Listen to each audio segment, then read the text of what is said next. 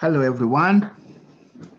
Welcome to this uh, special discipleship train, training that um, we've been having the past three weeks. This is the last um, on a four-part series on dealing with internal pain. Um, we have covered a lot and looking at internal pain, and um, we have looked at the source, and we have looked at some of the consequences of uh, internal pain, and um, in other words, we've been able to trace, we've been able to face, and we are right now at the point, at the stage where we are now facing it. And um, I want to encourage you to look at the other three parts that we have already had on this series. And uh, on this, we are bringing it all together now because we're looking at steps to overcome internal pain. And uh, here are fundamental scriptures that guides us here because the word of God is the foundation. Um, in First John chapter 5, verse 4, it says, For whosoever is born of God overcomes the world. And this is the victory that overcomes the world, our faith. Everyone that is born of God, every child of God is an overcomer. In other words, you are not defeated. You are an overcomer. Two others uh, translations uh, even bring it, make it more clearer. It says, every child of God can defeat the world. And our faith is what gives us that victory. Every child of God. It didn't say some child of God. If you're a child of God, victory is yours. Another translation tells us, it says, because everyone who is a child of God has the power to win against the world. Wow, what a truth. And based on these facts, we are looking at steps to overcome. And as you can see on this diagram, um, these are two ladders that are, are available, that are out there for people to use to address issues in their lives. Um, the ladder on my left-hand side, you know, you can see has only three runs to climb out of this pit. And those three runs are repent, you know, pray and uh, attend the church. So any of these are the things that uh, the religion has offered us. You know, if you've been around the church over your lifetime, you will find that these are how churches dealt with uh, issues in people's life. But we are talking about something that is deeper than just a surface thing. And uh, I've seen people that got saved and they're born again, they filled with the Holy Spirit. You know, they've got every uh, box ticked when it comes to religious and church things, but internally they carry this excruciating pain, life dominating pain, emotional pains that they don't know what to do about it as a result of what has happened in their lives. And these continue to manifest themselves in different ways as we look at some of the consequences. Um, people are not living the abundant life. Jesus promised us an abundant life.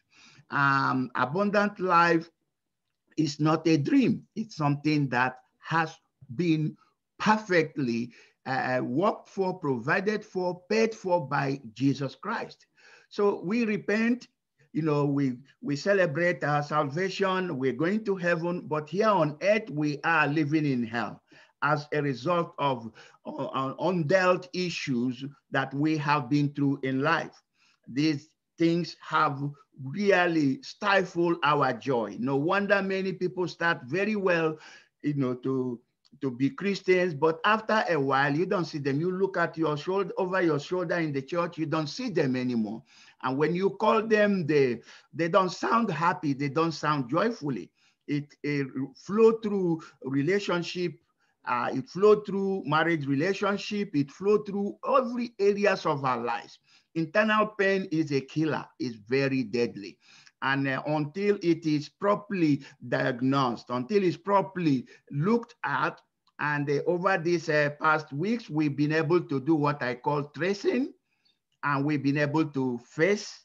And now on this uh, particular point, we're going to do what I call the, you know, we, when we trace and face, we replace it. And the replacing part of it is where we now come uh, face to face with reality and the truth as to what actually is happening in our lives. So uh, repent, pray, and attend church as a prescription is not good enough. As you can see, it has only three runs on the ladder. And to go from one to another, is it, it, it can tear you apart. But on the uh, right-hand side, we have a more specific uh, uh, directed, intentional uh, uh, steps how to get out of the mess, uh, how to get out of the uh, uh, these situations that has remained for such a long time. Remember, Jesus said, My peace I give to you. He came to give us peace. He came to restore and, and reclaim our lives. He's done it. He didn't just patch us up, He replaced our life with His life. Now, these steps we are going to look at in closely so as to understand how to really overcome. Over the uh, over time, we've also looked at these uh, uh, learning circles, which has been really amazing. You've seen that we use this uh, on this discipleship training a lot this uh, learning circle or what we call kairos moment is pretty much like the, the, the diagram I have put up there where the, uh, you, you, you know, we got to observe, reflect, discuss, as well as plan, partner, and act on what God is doing and saying in our lives.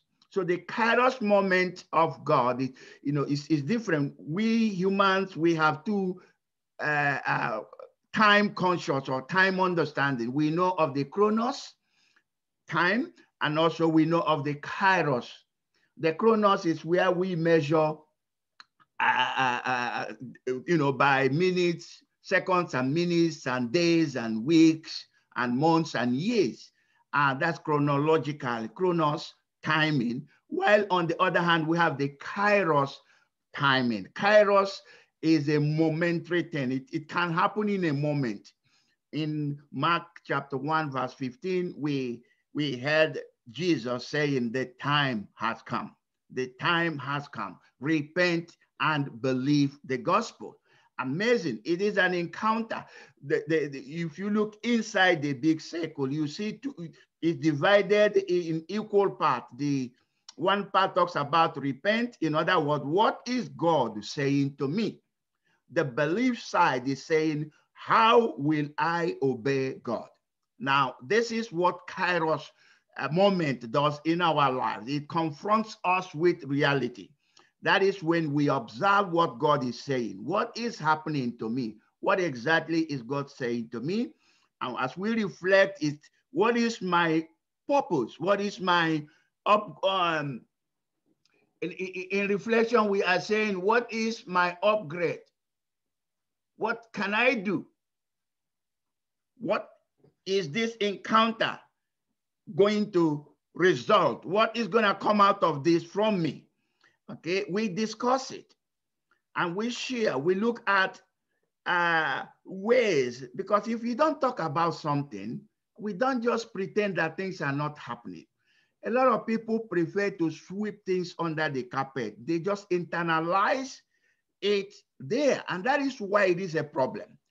That's why it, it grew to cause pain in your life.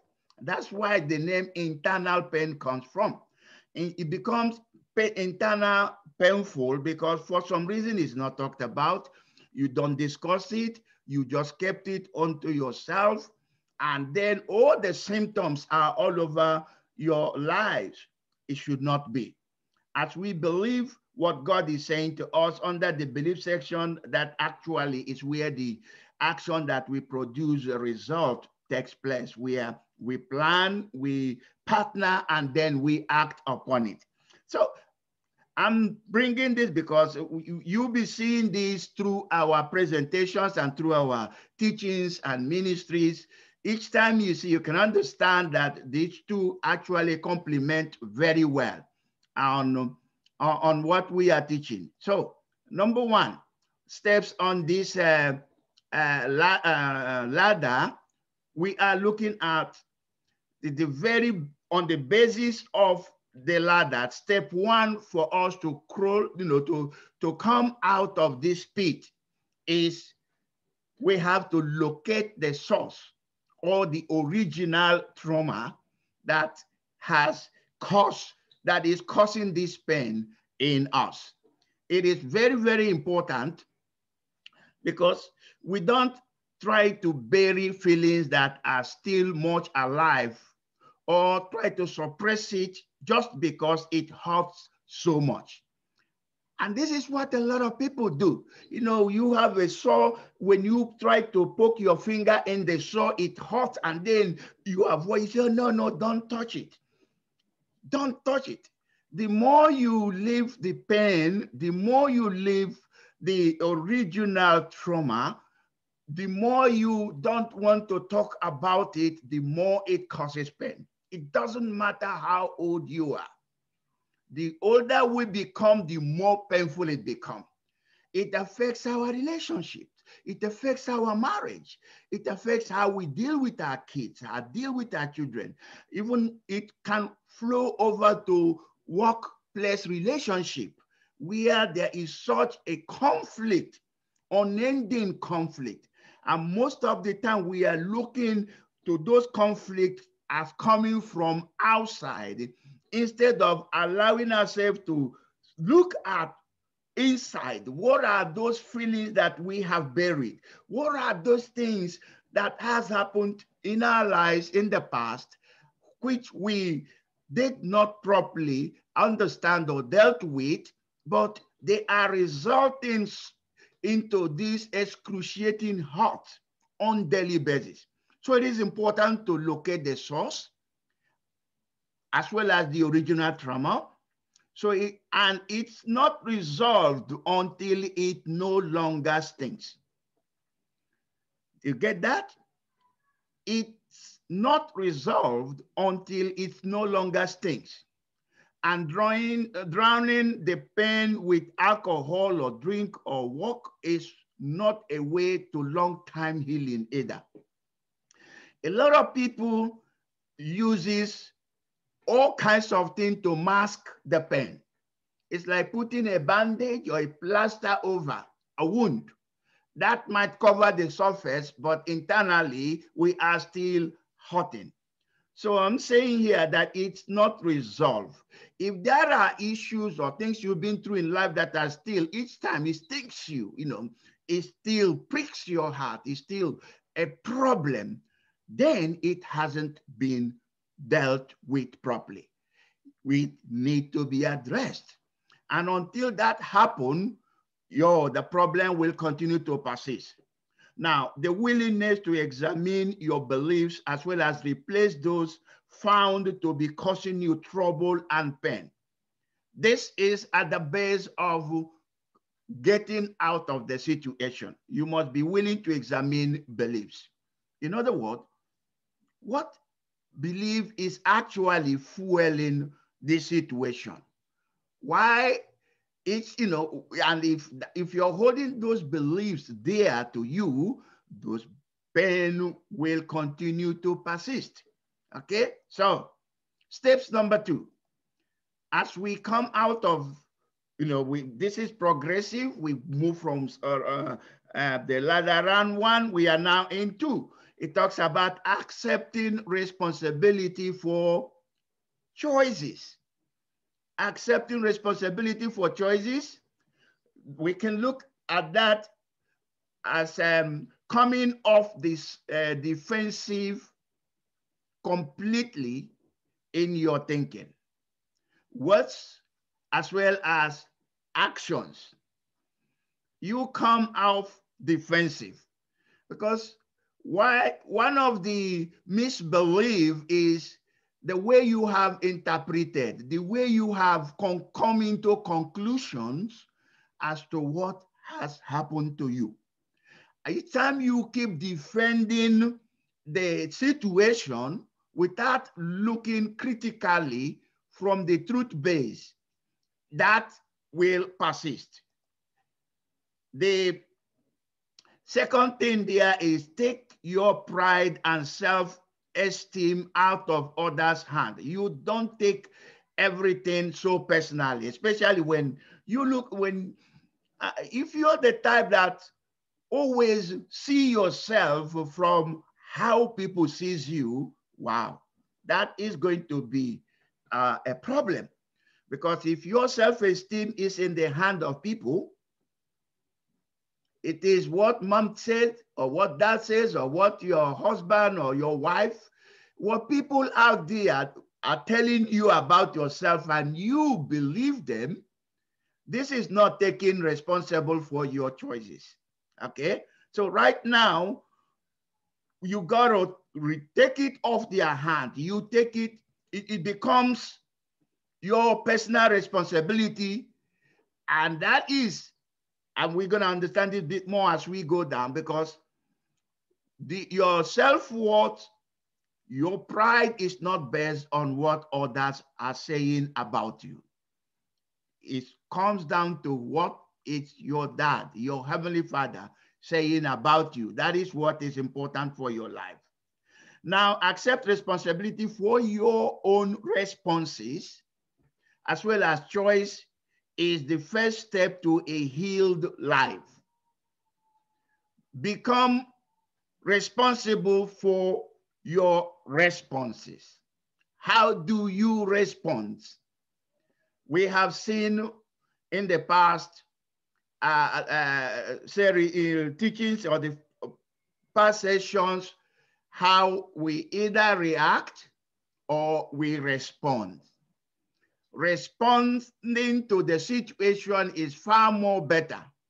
And we are responding because we are coming from informed, uh, uh, um, we, we've got knowledge, we've got insight, we've got understanding as to what we are going through, and we begin to respond to that.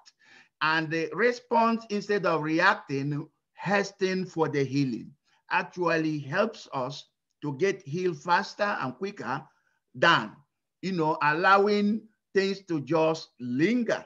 Step number three talks about collecting insights on topics. In other words, knowing the truth. What is the truth about what has happened to me or about what I am going through? Jesus made it clear. He said, You shall know the truth, and the truth shall make you free. What sets free is the truth. What sets free is the truth. And what will uh, keep people in perpetual darkness is lies if I'm believing lies over my situation, that will not bring healing. It actually will aggravate the problem.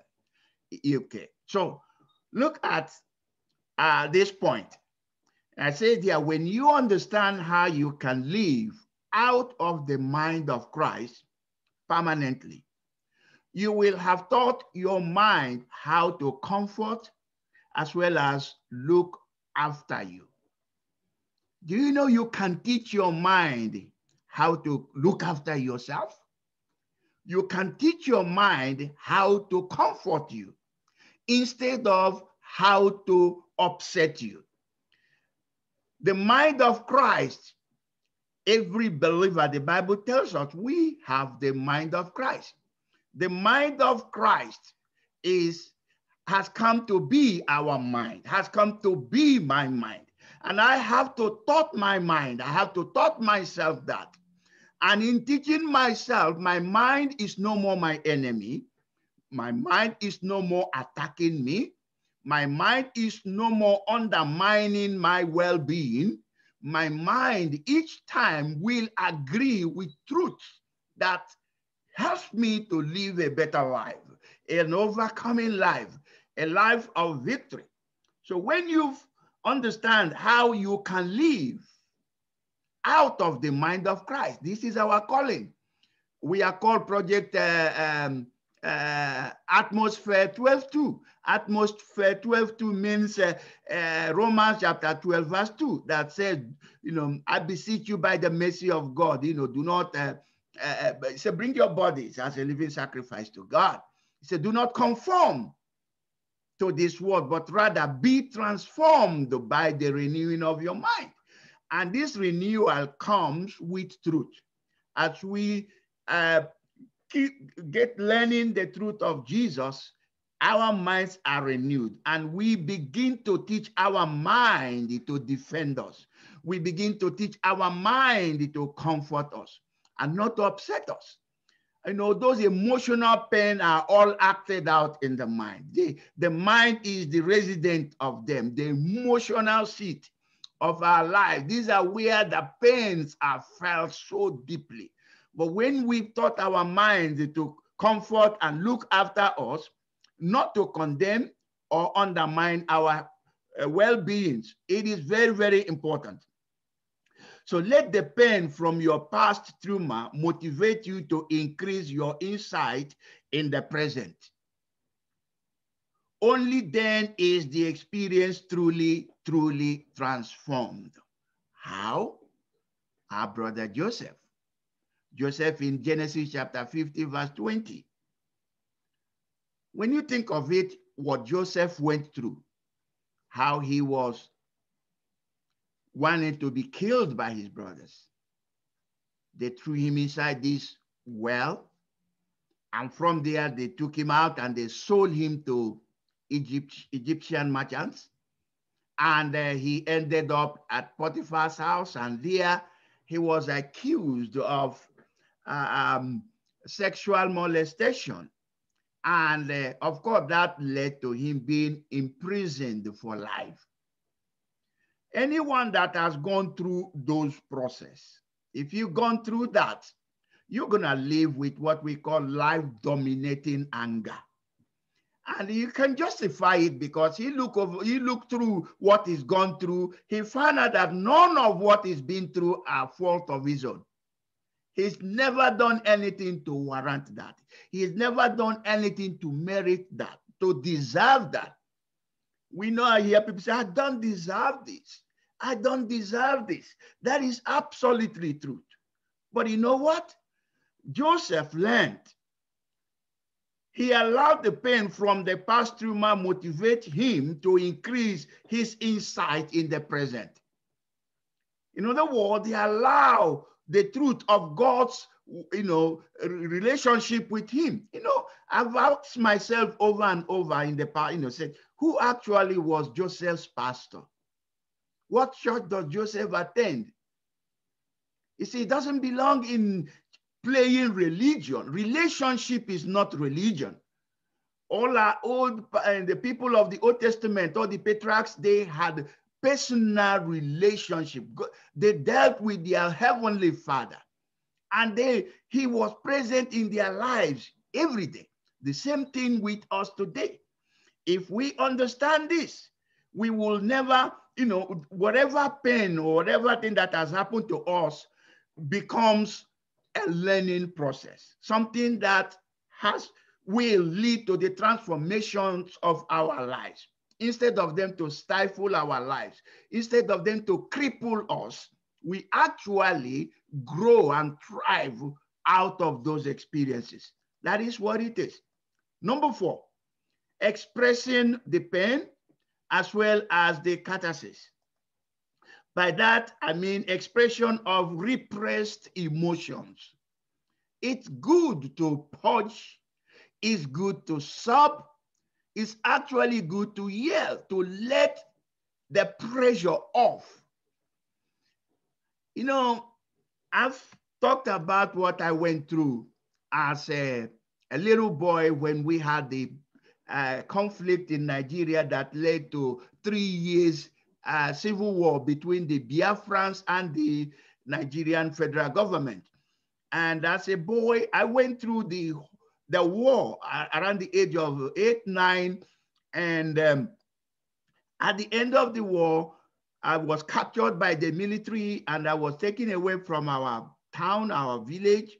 And for the next six months, I was away in a far place, not knowing how I will ever get back to my parents. I was lost.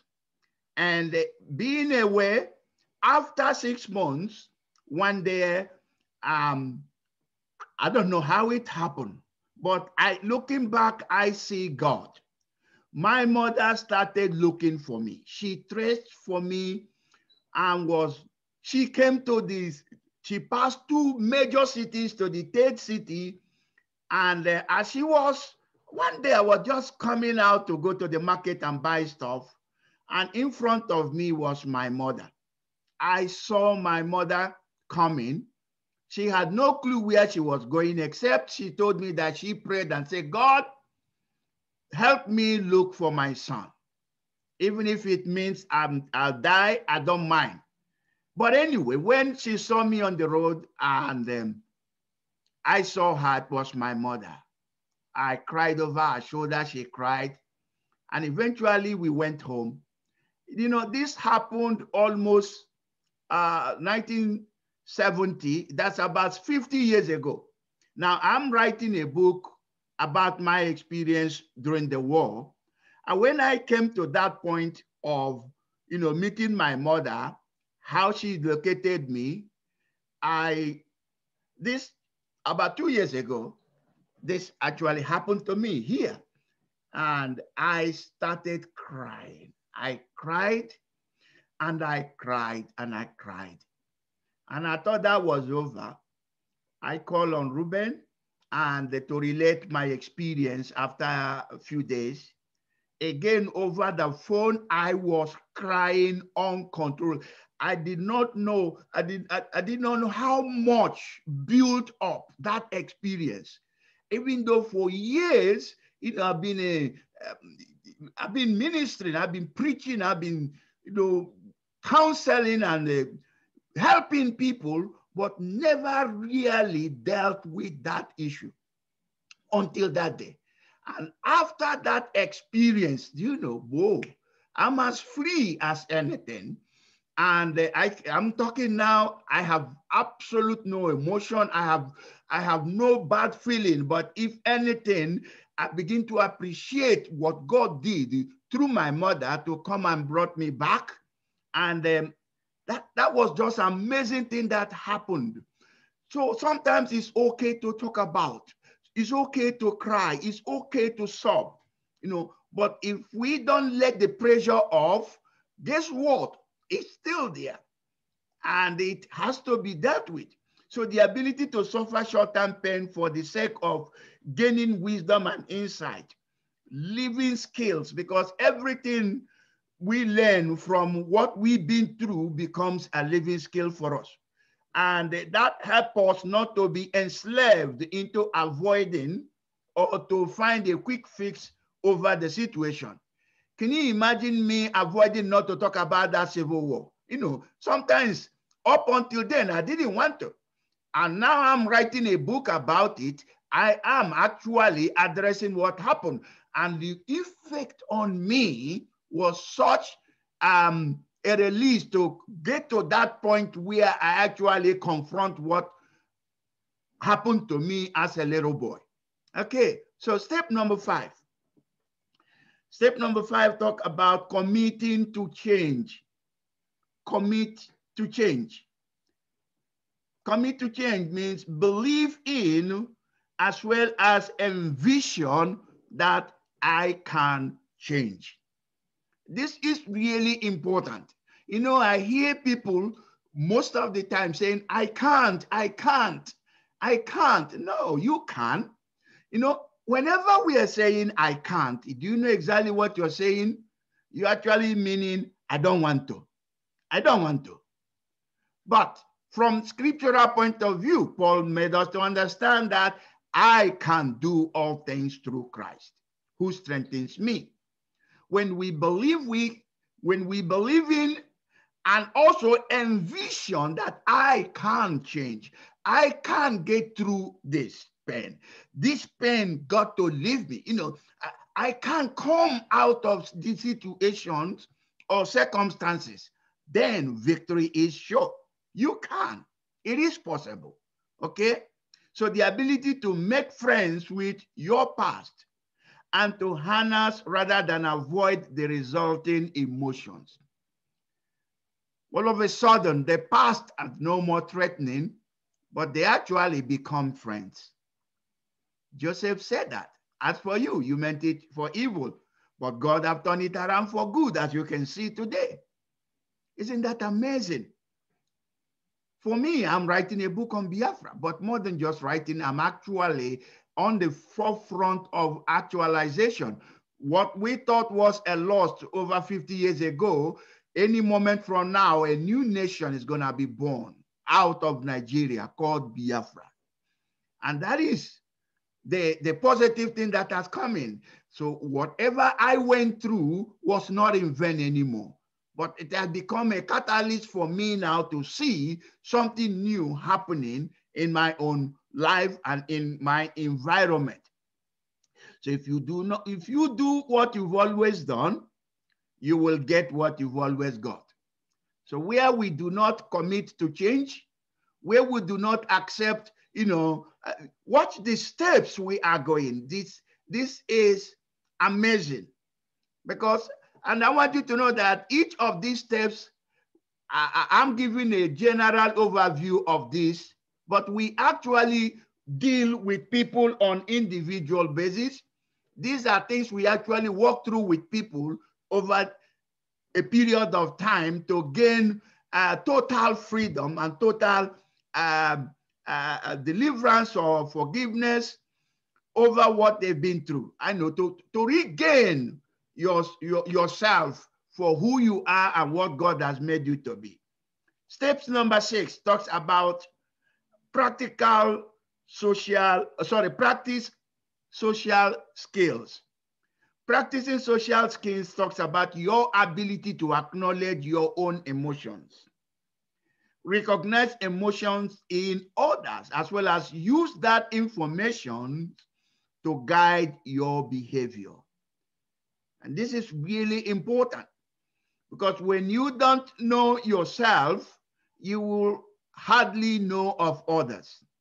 You will keep misjudging others. But by acknowledging your own emotions, and that position you to recognize the emotions of others.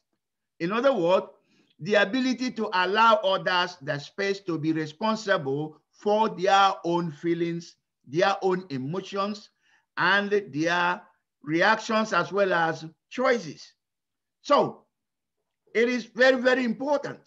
When you know that, you won't be responsible to other people's behavior, neither would they be responsible to your own behavior.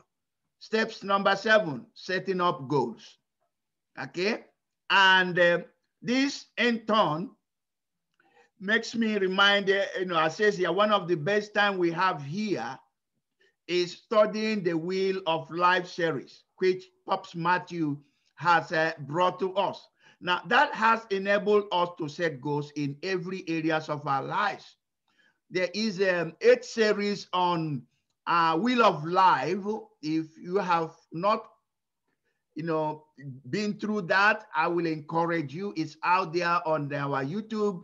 The whole series are there because we look at the eight areas of our lives, and each area we actually develop goals in how to uh, those areas are will be well catered for and well looked after. Yeah, so that that is there is a lot has already been said on that, and I want to recommend to you to go back to the Wheel of Life series because that's going to empower you the more. Steps number eight talks about mental health practices. This is very, very important because not many people understand their mental health practices, especially Christians. you know, the what we know about our mental health is almost zero. We know so much about, you know, how we're gonna go to heaven, but how to live a, a victorious life here, which affects our mental and emotional lives, many people don't know.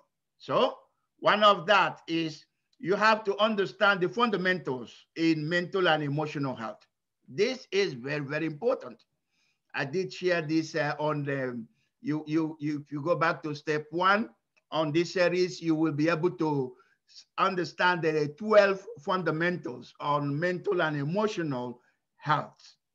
And uh, the journey into mental health begins with a commitment to come out of the hope source into reality. A lot of people are not, you know, they, they, they, don't differentiate from the reality of life or the reality of their situations. They've left it to chance. You don't have to. And the part of mental practices is uh, we've talked about uh, keeping a journal, as you can understand. I think in uh, part two series of this, we talked about uh, keeping journals. And in keeping journals, that helps you actually to, on daily basis, you understand what you are telling yourself. By capturing a thought, you know, today I've mostly been thinking, you try to capture what you're thinking. And this is because um, this is as a result of you talk about what that exactly is. And then you talk about the belief this is because I have been telling myself, and when you talk about what you're telling yourself, and then you go to the next stage where, and what is God saying about this? And the moment you get to understand what your Heavenly Father is saying about that situation, then you're left with the challenge or the question of what do I do about it? Are you going to agree with God? Are you going to continue to allow your uh, uh, emotion to sabotage your happiness? Your, you allow those uh, uh, stinking thoughts to continue to rob you of the quality life. We can live happy life every day. So the taking those journals are very, very vital for you to understand what you are telling yourself on daily basis. Now, a person's mental and emotional health can be gauged by how readily they take offense, by how easily they are hurt by others' actions. If you're someone that exposes yourself to what people are saying or what people are talking, what people are telling you, and that leads to taking offense when offense sometimes are not even intended. That is, I know, exposing how mentally and emotional healthy you are. So it is important. I have developed a live uh, toolbox that we take people through uh, gaining, uh, uh, uh gaining through mental and emotional health. It is as an aspect that is lacking in the church. We know that. But um, I do do consults on one-on-one. I do walk people through, and um, perhaps some of us here probably might need to take a step further to do one-on-one consults in order to deal with what, because we've just been talking generally here, but uh, to some of us, this could come down to a specific area, something you have struggled most of your life, something you've been through most of your lives that hasn't really been dealt with. And it has to. And you know that no amount of uh, uh, pleading the blood of Jesus will do that. What is going to set you free is truth. When you understand the truth, that just flip the coin over for your lives. So steps number nine talks about prayer and the faith insights. This is very, very important because prayer has a different meaning from what you and I have known to be prayer. To many, prayer is like a shopping list. Prayer is pretty much like a one-way traffic of us telling God, you know, talk to God and ask God, ask, ask, ask, ask kind of a thing. You know, and unfortunately, there are people that pray, understand prayer as an, you know, pray like an orphan. Uh, Padre Bruce have uh, done a series on with us here on, you know, postures in prayer. And if ask direct question, what is your posture? You know, the, eh, whatever posture you adopt, that actually shows who you are. You know, we we change postures whenever we meet different type of people in our life. When you meet a policeman, your posture changes. When you meet a doctor, your posture changes. When you meet a pastor, your posture change, you know. In the same way, what is your posture when you meet your heavenly father? There are people who understand God to, you know, as and who understand themselves, their relationship with God as an orphan. Can you imagine if all you see about yourself is an orphan? Can you imagine what your posture will be when you're standing or approaching your heavenly father? What are you going to say? You know, some approach him as a servant, Others approaches him as a slave.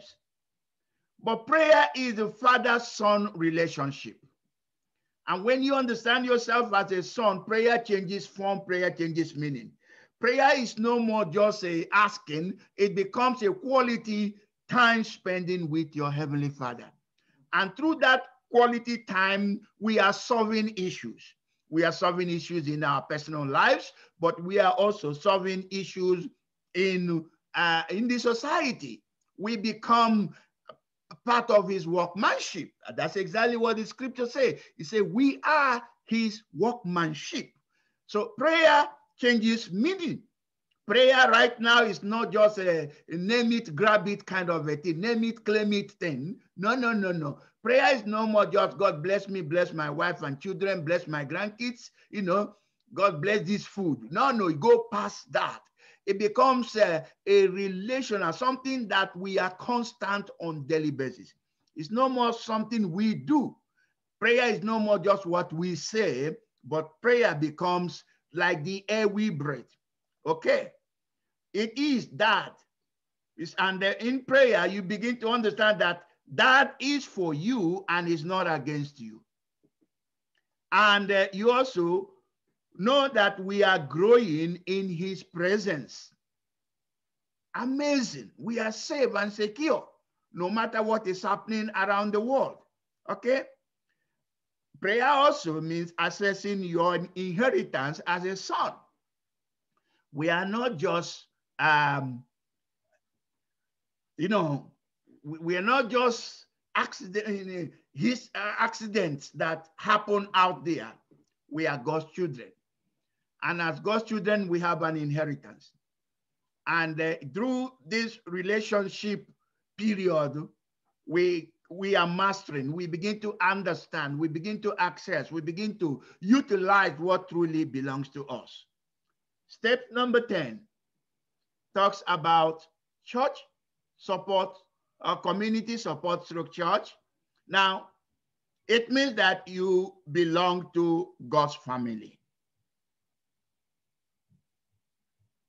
You belong to God's family. You are not just an island of your own. You are acceptable and you are loved. Okay? You are not judged, you are not shamed in any way. Religion judges and shame us, but the family of God does not do that. The kingdom family is amazing. Now, we have been through step 10, and this is the last round on the ladder. And uh, what that talks about is when we climb out of this, we stand in position to help others. You know what? This actually is what we are made for. This is what we are created. This is why we existed. We are made, our lives are to be a blessing to people. But you know what?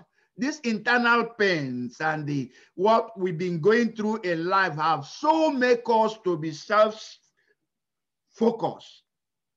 that we are forgetting the big picture of us being God's answer to the world that we live in.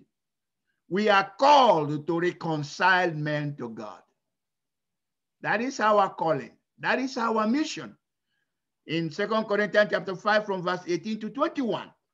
This is our calling. This is who we are.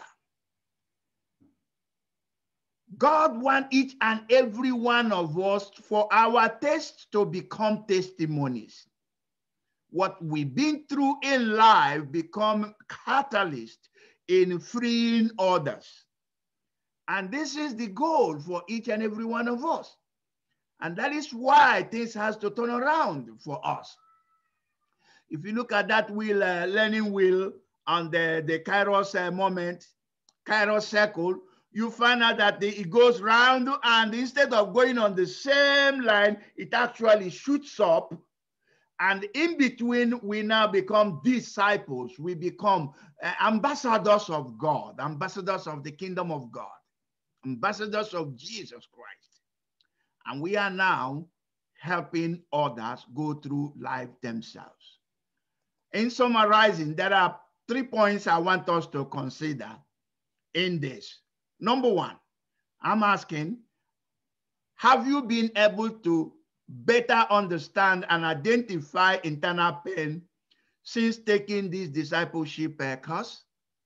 Have you learned something? Have you come to understand? Have you come to identify some of these issues in your own lives? Number two, what tools do you feel you have learned about that can better help you identify as well as deal with internal pain. Have you understand any? Have you come across any tool that has become beneficial to you? This is important.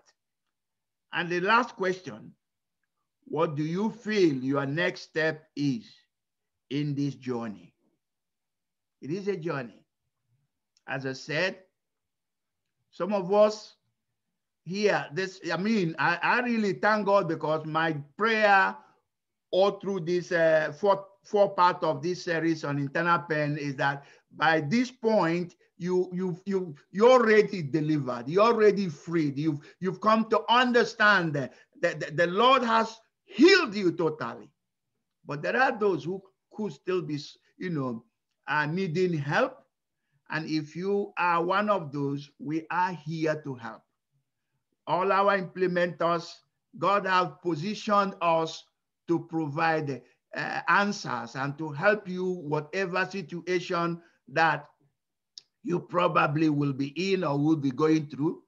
And um, I want to thank you for going through this. As I said, we are available, we are ready to help you to deal with and to walk through any further that uh, area in your life that you require answer or you require help. Thank you and thank you for uh, going through this. God bless you real good.